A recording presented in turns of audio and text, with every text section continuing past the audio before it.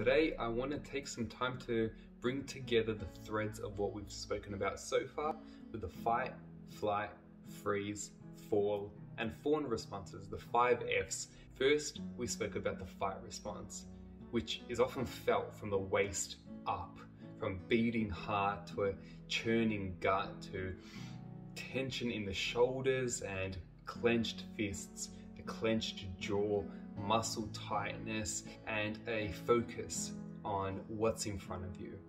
Then we kind of shot forward to the flight response, which is just hauling us out of there.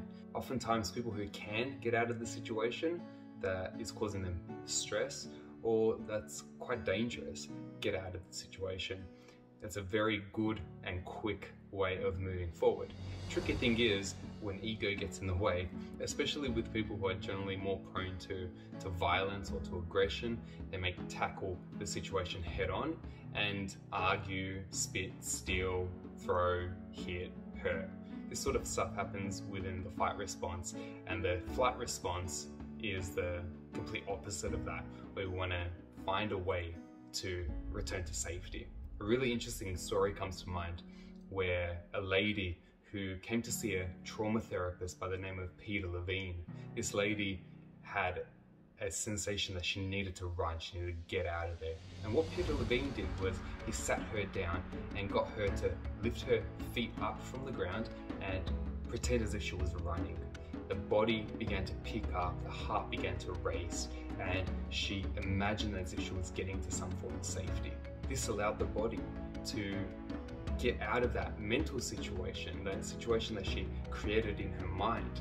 And in turn, she was able to overcome that particular fear that she came to session with. The flight response happens from the waist down. We often feel it with tension in the feet, restless feet, feet that feel like we need to move out of there and get out of that situation. That's the fight and flight response. The freeze and the fall response is is a continuation of the fight and flight response.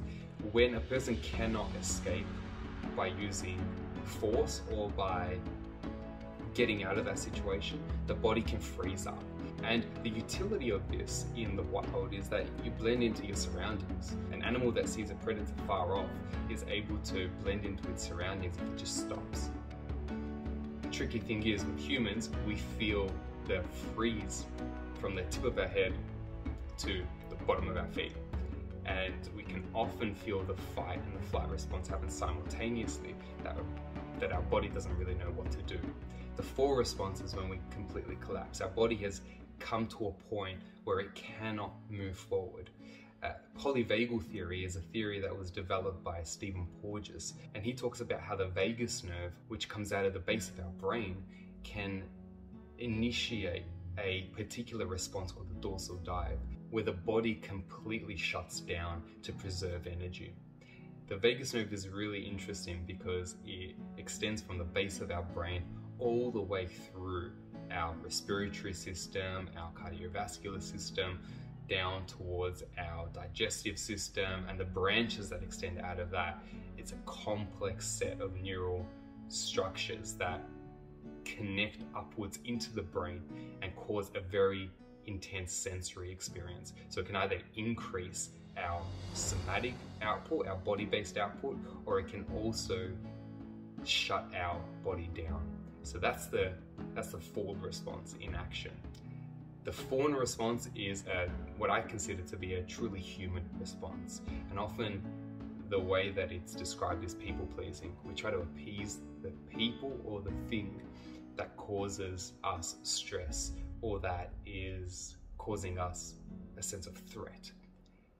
The fight, flight, freeze, fall, fawn responses, they're all very natural responses. And the more we understand how to pick them up within our own bodies, the more we can work out ways to address them and to work through them, to push through them and overcome these particular sensations, if, of course, they need to be overcome.